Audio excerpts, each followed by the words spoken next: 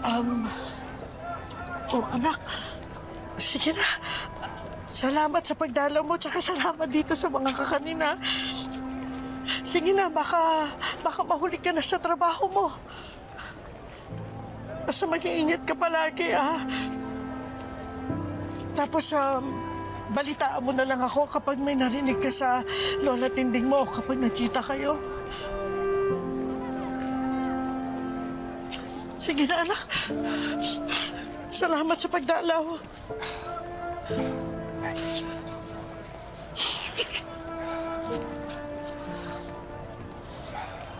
Nay. Mag-iingat ka po, ah. Sa... Gusto ko malaman niyo kahit na... Kahit na hindi na tayo mag-asama ngayon. Pinapangarap ko na sana. Makabalik pa ako dun sa bahay natin makapagsama-sama pa tayo. Sana mapatawad niyo ako ng tatay sa lahat ng mga kamalian ko. Ang isipin mo na lang. Basta ha, ngayon laya ka na. Pangako mo sa akin na magbabagong buhay ka ha.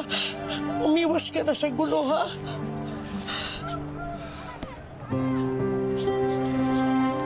Basta pag may problema po kayo, sabihin niyo lang po sa akin na dadalawin ko po kayo madalas dito. Mag-ingat po kayo. Good.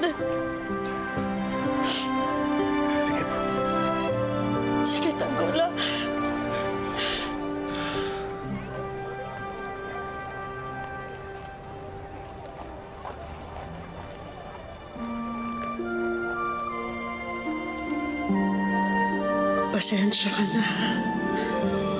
Hindi ko masabi ang totoong kalagayan ko dahil ayoko na mag-isip ka pa. Handalin mo to.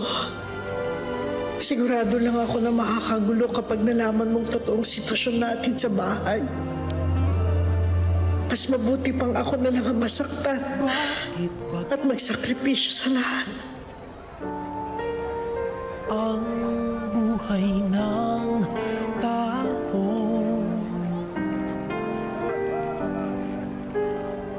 Mayroong mayaman May api sa mundo.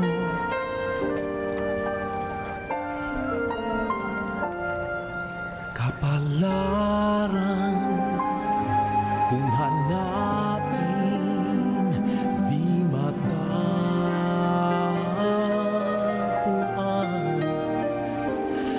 at kung minsay Watch FPJ's Quiapo Year One on YouTube worldwide for free.